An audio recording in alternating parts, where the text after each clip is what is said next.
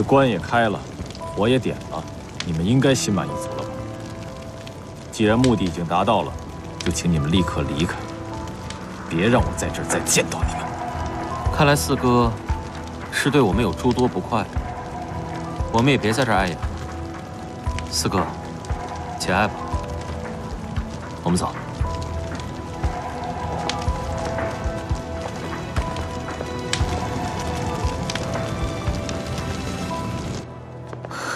八爷，你稍等片刻，此事有蹊跷。方才在火化小薇时，并没有感觉到他们的痛苦悲伤，而是非常的紧张不安，特别是那个丫头。对，四哥还一直催我们离开。八爷，为了保险起见，我们不如等火烧尽了再离开。好，回去看看。十四弟，你来了。正好看看那娇娇弱弱的十三福晋烧成灰的样子。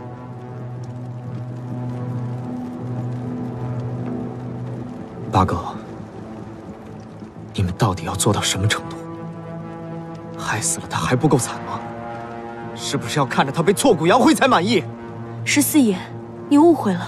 走，赶紧离开这儿，让他安息吧。好。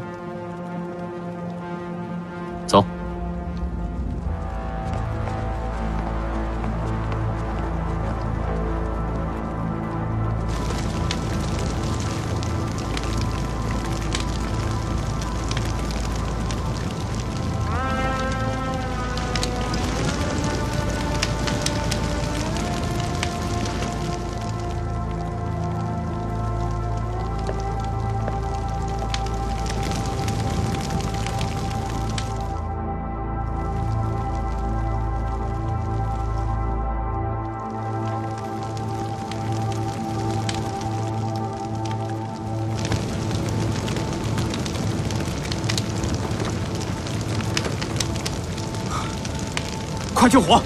快快快快快！快点！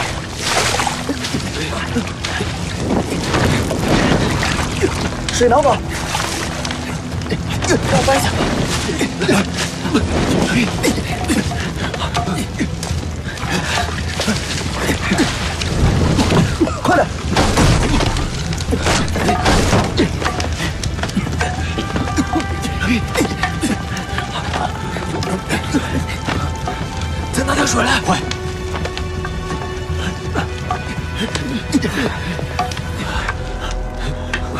没事，就好。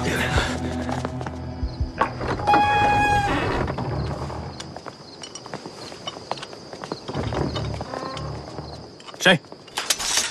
出来！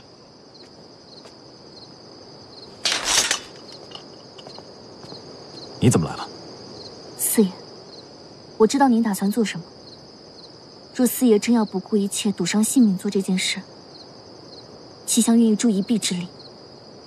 我非做不可。可是，你又如何帮我？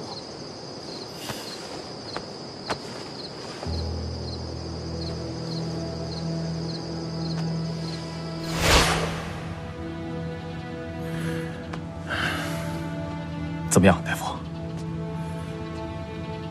回天乏术啊！还有没有？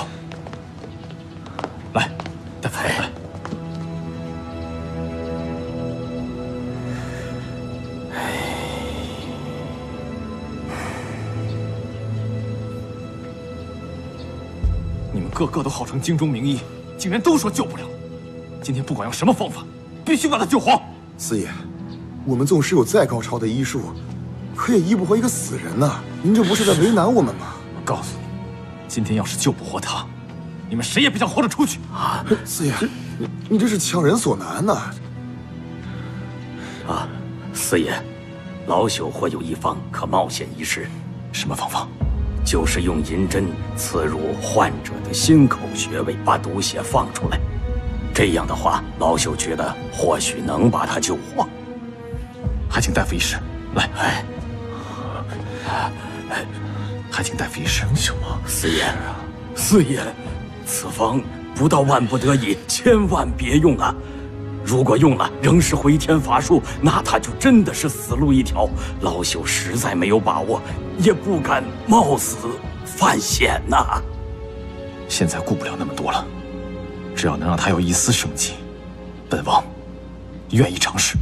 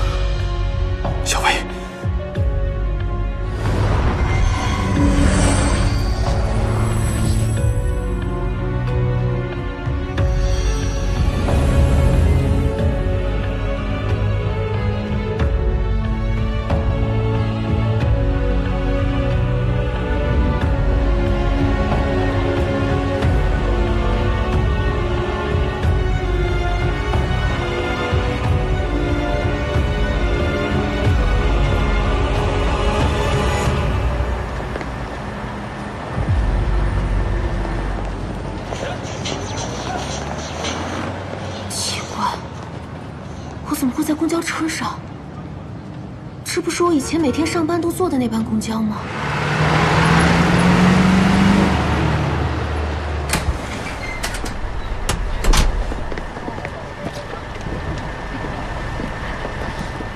那不是小秋吗？小秋，小秋，小秋，小秋，小秋，我不信。小秋，这样是为我好，那你有考虑过我的感受吗？小秋，凭什么你说分手就分手？小秋，你听不见我说话吗？你疯了吧你？小秋，不是说的好好的吗？啊，好啊，分手就分手，谁稀罕你啊？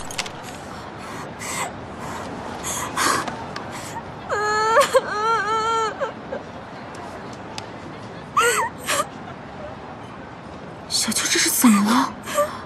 跟男朋友吵架分手了？小秋，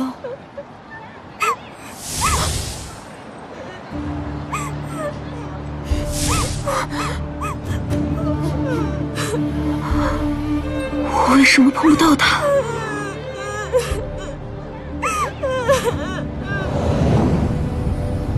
知道知道，把罐头我找回来。怎么回事？难道我是在做梦吗？我没有尸体了。小薇，小薇，小薇，小薇，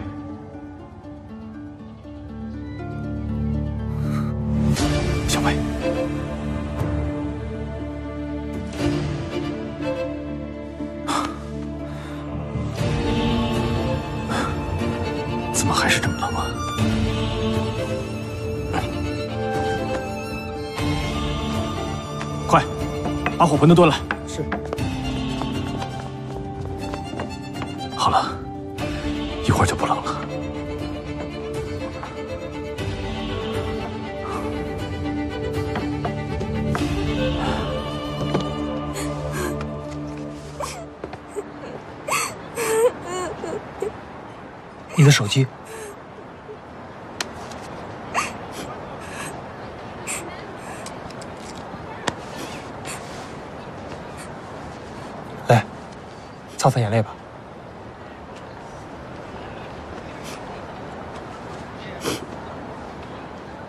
没事吧？我没，你不要紧吧？我没事儿。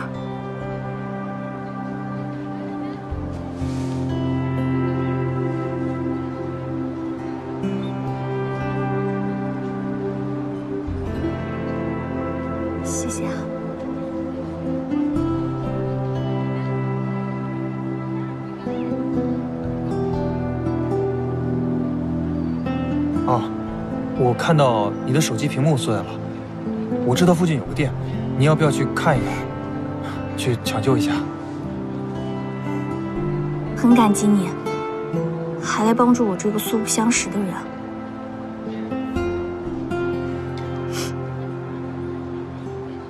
我叫小秋，我叫嘉伟。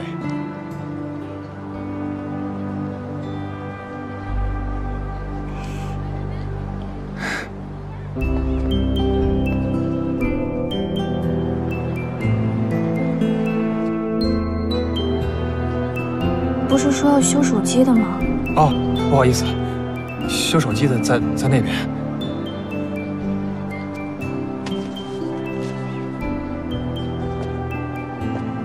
我们是不是在哪儿见过啊？是吗？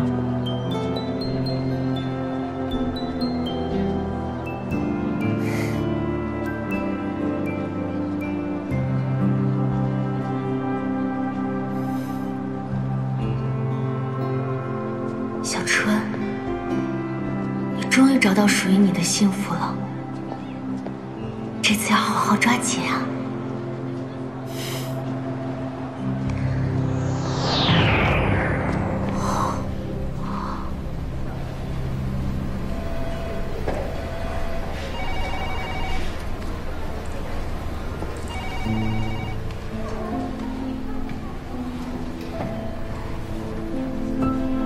你是说这边还要再做一下修改是吧？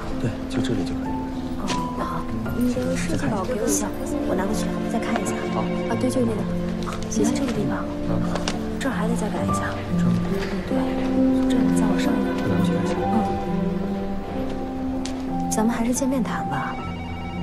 合同上还有一些细节，我需要再确认一下。嗯，好。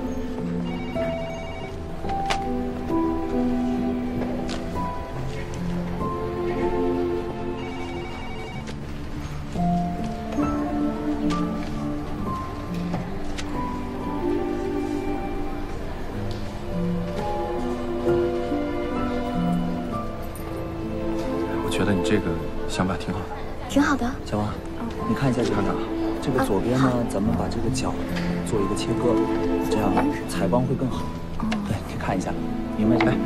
再看看这个。行，那我们再看右边啊，右边这个地方呢，就是高低这两个位置要换一下。对，你看，就这里。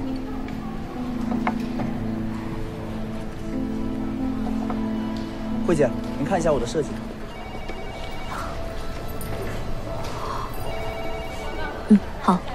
好的，慧姐。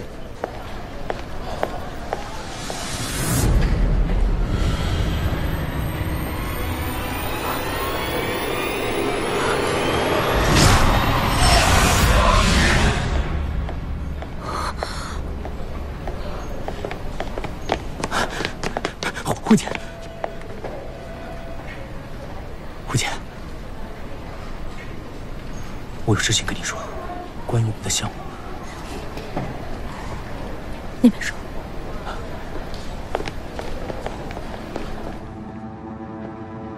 慧姐，我之前跟你说过，我们这个项目前期筹备遇到一些问题，没想到现在越来越严重了。怎么会弄成这样呢？我也不知道啊。之前这个项目一直是让小薇盯着，您接手之后就没让人再负责这一块儿，结果就……这件事情先别跟别人说，让项目继续进行。我知道。慧姐，小薇之前是不是做过什么得罪过你啊？这个小薇啊，刚一进公司就一副拼了命想要挣表现的样子，让人看了就烦。你说她做助理也就算了，还想当设计师，这不简直是做梦吗？不过说来也奇怪，我也不知道为什么这么讨厌她，可能是上辈子跟她结了什么怨吧。早就想踢她走。她现在好像人间蒸发了一样，微信不回，打电话也不接，不知道是欠债逃跑了，还是被人绑架了。活不见人，死不见尸了。肯定是出国旅游了。像他这种出生之犊啊，遇到困难就只会逃避。不过虽然讨厌他，现在有点可怜他了。哎，你说他都离职这么久了，我现在就感觉他的魂每天都跟我这绕来绕去的，烦都烦死了。他竟然看得到我！小薇，小薇，你醒醒啊！小薇，小薇，小薇，你不能死！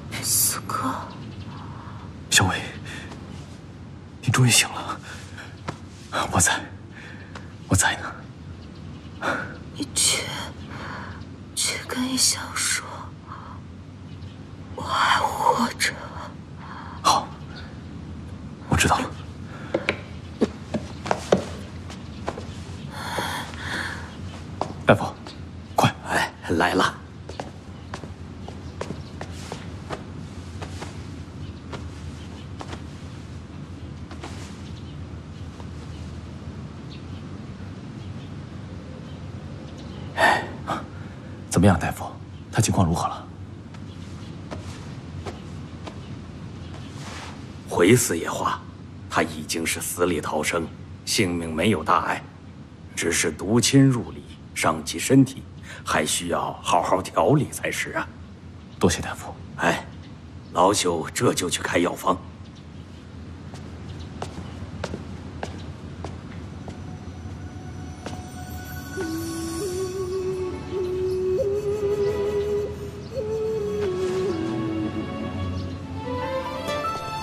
来人，备马，我要即刻回京。我们能赶上今年的初雪吗？当然了，初雪又有什么特别？在我那儿，初雪是告白的日子。告白？告白是指？是指表达爱意。哦，若是这样，那以后每年的初雪我都陪你看，因为你的爱意都是我的。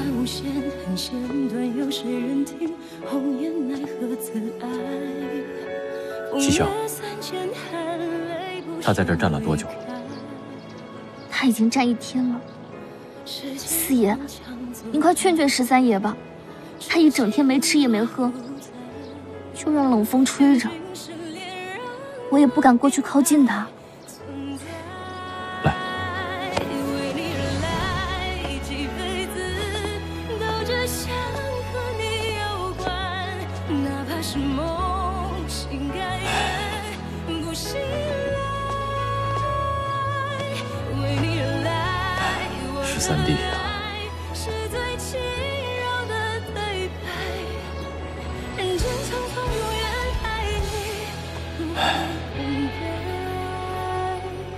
四哥，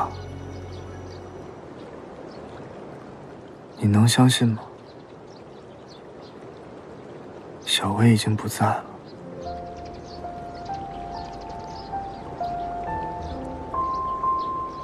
这庭院里的一草一木，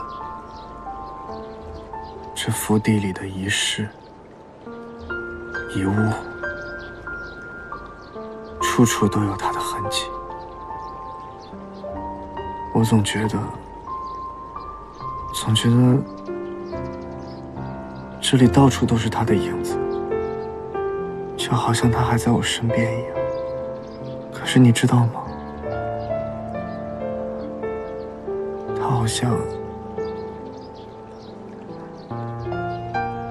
真的已经不在了。十三，别在这里站着了，先回屋去休息，好吗？好像要下雪了。这是今年的第一场雪。当时小薇还心心念念的说要看初雪，说初雪是告白的日子。我们约好了，我俩一起在这院子里赏雪、喝酒看花。该多自在逍遥。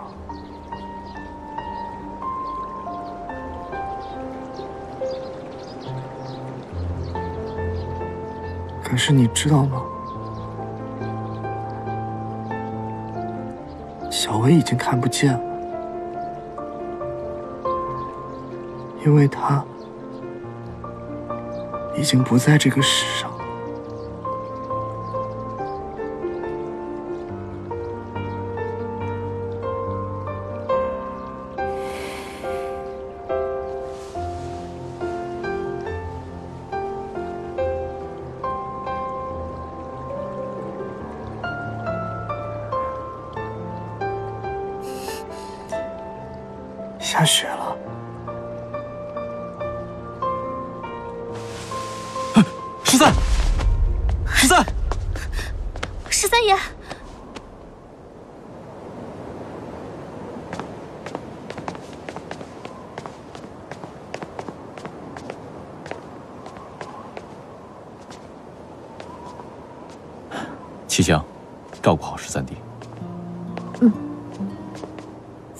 状况如何了？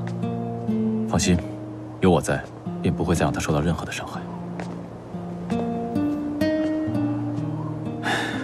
十三弟那边，四爷请放心，如何才是对十三爷最好？七香知道该怎么做。好。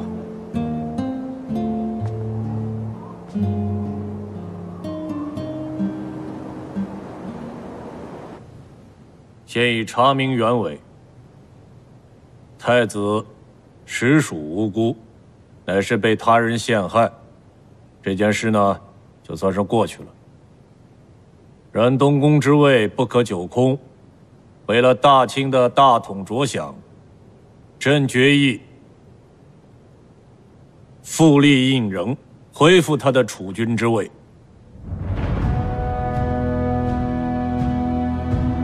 奉天承运，皇帝诏曰：嫡子胤禛，日表英奇，天资翠美，载籍典礼，抚顺于情。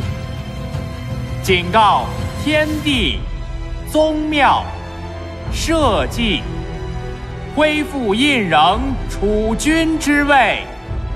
钦此。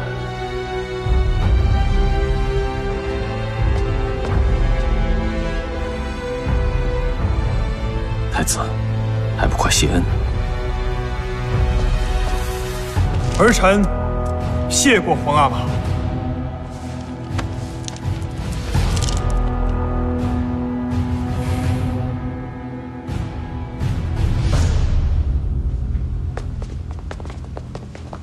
我看太子大势已去，就算皇阿玛今日一时心软复立了他，他在这个位置也坐不了多久。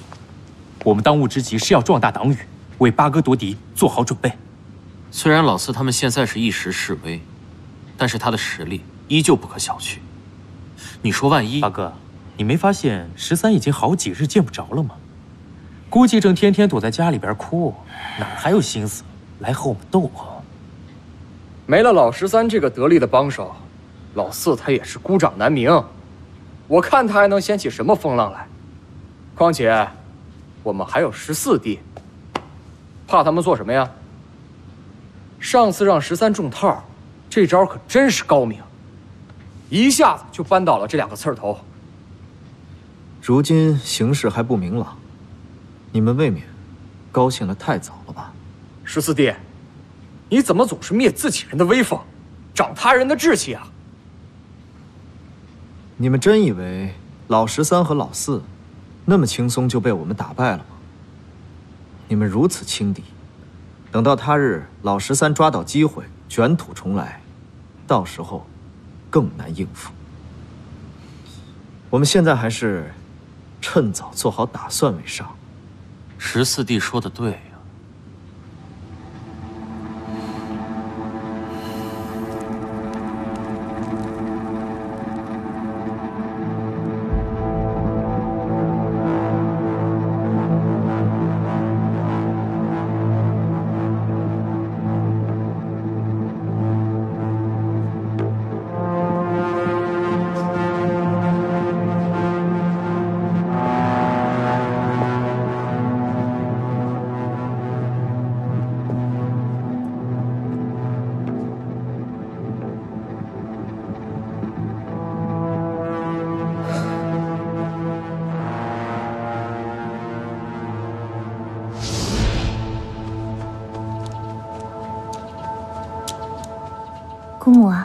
合适吗？嗯，好着呢。荣月最喜欢来陪姑母了。娘娘，这是明慧从家中为您带的安神茶。哦，夏莲，明慧姑娘有心了。你对姑母真好。前几日你送来的霍山米糊，姑母吃了后气儿顺多了，精神也好了。嗯，不过是一些草药罢了，能够为娘娘的玉体排病解难，这才是最重要的。明慧姑娘聪慧过人，懂事有礼，是宫中少有的好姑娘。本宫啊，可是喜欢的不得了。日后你要多来宫中走走，多来看看本宫啊。明慧感激娘娘一直以来的抬爱与赏识，明慧一直都心存感激，希望之后能够有机会来报答娘娘。好。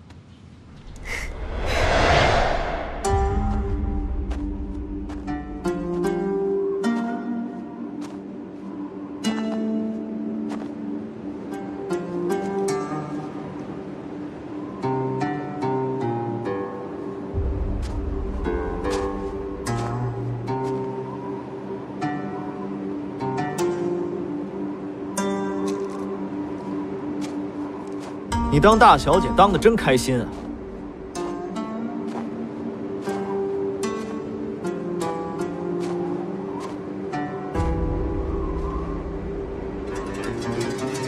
小薇死了，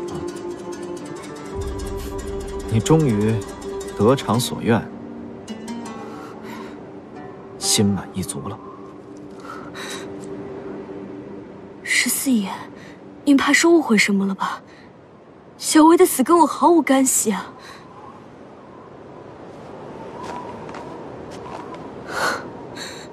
我也在为小薇妹妹的死而伤心呢。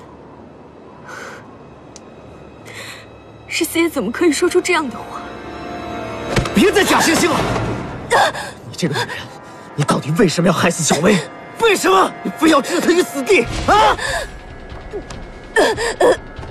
你啊！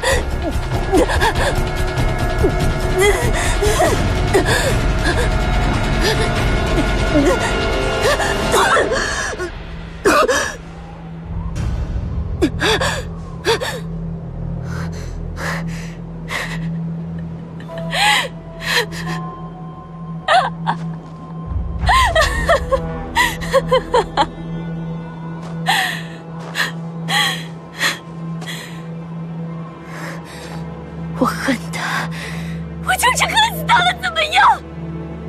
只要有他小薇在，我就什么都不是，我什么都得不到。从小到大我就知道，只要有他亚拉尔塔明威在，他就是我最大的敌人。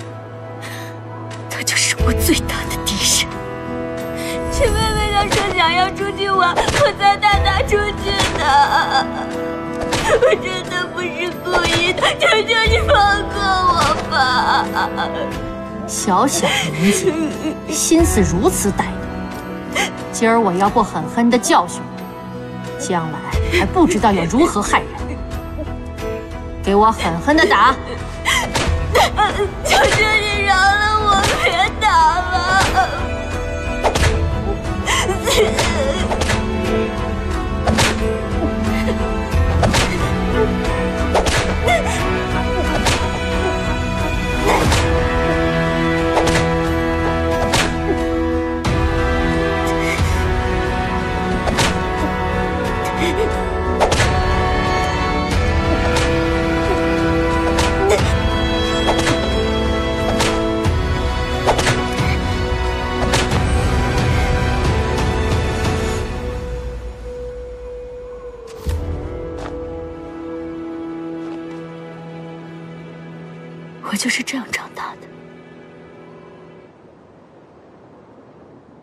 若不保护我自己谁会来保护我？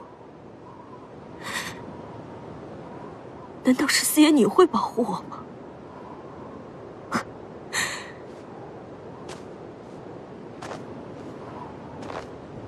十四爷你承认吧我们才是一路人。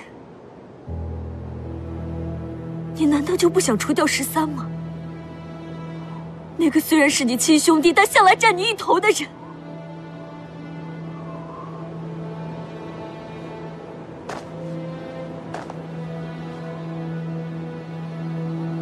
不，我们从来都不一样。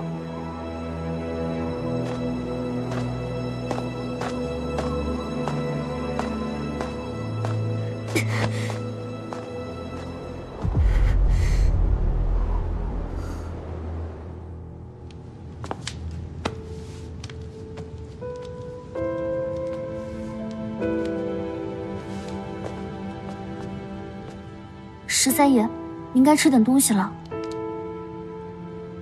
十三爷这都躺了多少天了呀？水米未进，连点动静都没有。这和木头有什么区别？七香姐，你说我们该怎么办呀？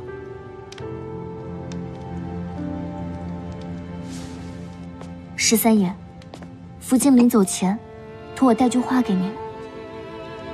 他说，即使他不在了。你也要好好的活下去。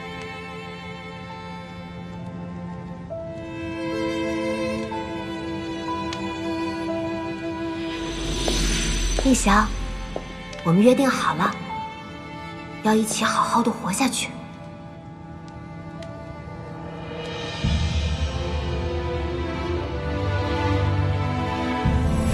以后，这儿就是我们的新家了。看。这里就是这个院子的最佳观景地，因为你的爱意都是我的。谁是你的？还没过门呢。沈大人，我们一起嗨起来！小薇，我三里屯之花又回来了。我找了你这么久，你一定要一辈子都守着我。小薇，一辈子都爱我。好，我一辈子都会守着你。爱你，嗯，云霄，我爱你。好，我答应你，一定会好好活下去。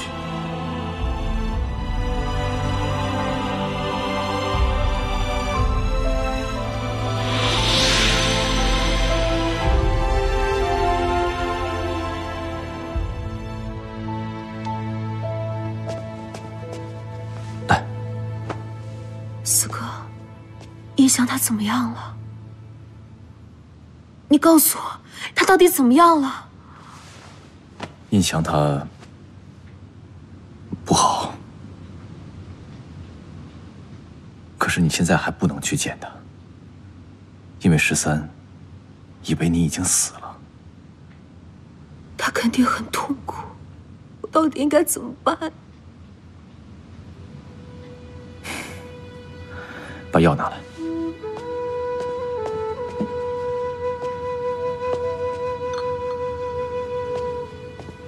小薇，你现在唯一能做的，就是把身体养好，让十三安心。来，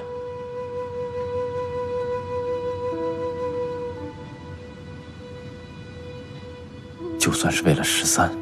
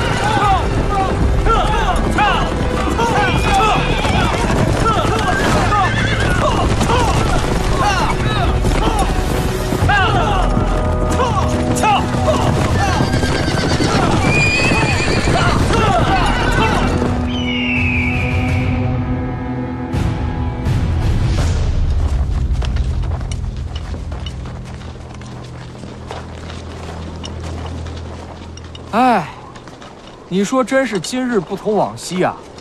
皇阿玛这次没来，老四缺席，太子又蔫了。这唯一能和十四弟较量的老十三，今年也废了。我看呐，今年这个冬猎，十四弟你只要动动你的小手指，就能打下这半山的猎物。去年此时，老十三英勇威猛，百步穿杨，能从黑熊手下救人，可谓是出尽了风头。想想现在，真是可惜啊！八哥，有什么可惜的？咱们没能除掉他，已经算是他幸运了。谁知道死了个女人，就让他半死不活的。看来这个女人死的是真好。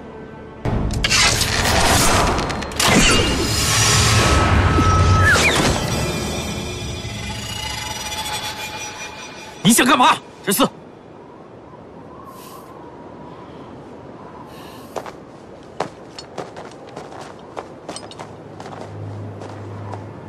老十四怎么最近气儿也不顺呢？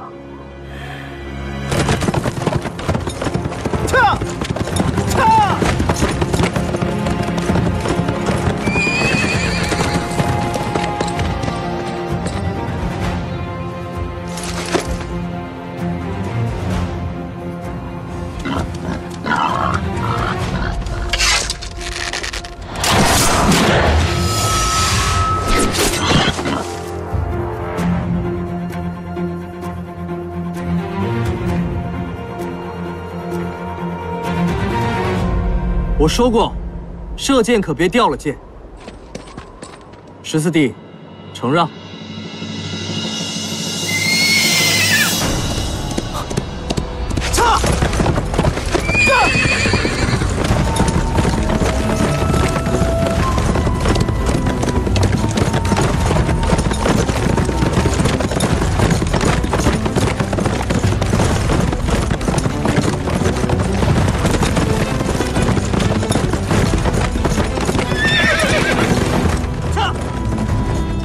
十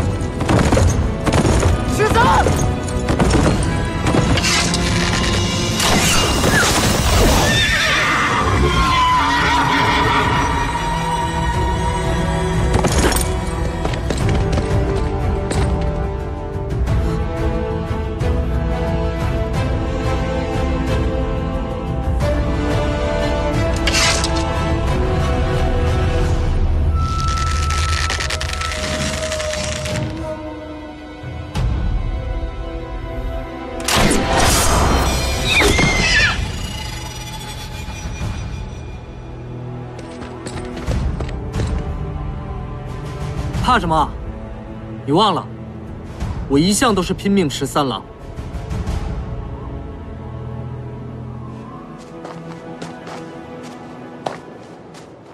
八哥，这不是十三吗？他怎么来了？不是说他现在半死不活了吗？怎么这么快就振作起来，还能来东猎呀、这老十三比以前更拼了，连死都不怕。八哥，咱们怎么办？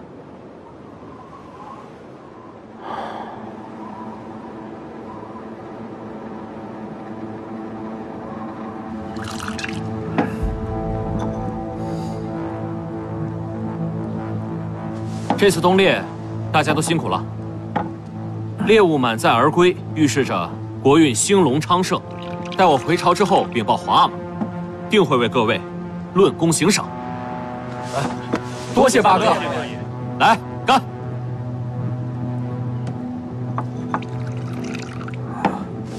这次十三弟所猎最多，拔得头筹，最大的赏赐，非我们十三莫属啊！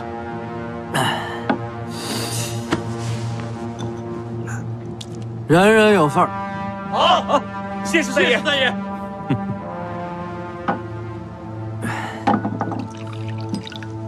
太子，来，十三弟，十三敬你。来，哎，用这个喝多没意思啊！咱们用这个喝。这，来，十三先干为敬。好，既然十三弟如此豪爽，为兄陪你喝。干！痛快！十三弟，你慢点喝。十三，不要再喝了，你喝的太多了。我十三素爱喝酒，今日好酒好菜，诗酒趁年华嘛。为何不喝？太子，十三弟的身手真是越发好了，打到的猎物竟然比去年还多。九哥，你夸个什么劲儿啊？在我看来，十三就是个无情无义的人。之前还有那么多人说他是多情好儿郎，福晋刚死没多久，又出来寻欢作乐了。哼，什么专情痴情都是狗屁。我看他这个心呐，就是个石头蛋子。哎，你说就这样的人，为何偏偏所有人都喜欢呢？老石，小声点。我为何要小声？我就要说，怎么了？十三，今天这酒喝得痛快吗？再下一次喝，就要到你娶新妻的婚宴上了吧？老石，过分了啊！你喝多了。八哥，你别管我，十三自己看得挺开的，不就是个女人吗？天下女人那么多，以我风流的十三，拿下个女人，还不是易如反掌啊？再说了，之前死了的那个，也是伶牙俐齿、嚣张跋扈，没了也就没了。十三，十三，十三，大家都是兄弟，冷静点。十三，你想干嘛呀？